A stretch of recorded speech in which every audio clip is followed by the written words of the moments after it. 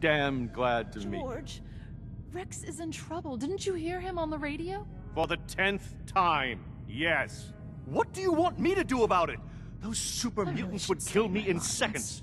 Rex got himself into this mess. He'll have to figure out how to get out of it.